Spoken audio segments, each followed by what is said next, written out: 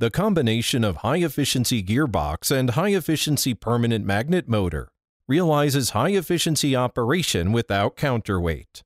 The main engine is miniaturized and lightweight, which can adapt to the smallest hoistway, while the top height, pit depth, and hoistway utilization rate all achieve the best results. The noise of the engine is controlled at about 48 decibels.